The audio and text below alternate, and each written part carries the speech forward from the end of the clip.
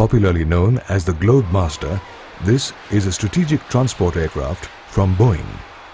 Powered by four fully reversible Pratt & Whitney engines, the C-17 measures 174 feet in length and has a 170-foot wingspan.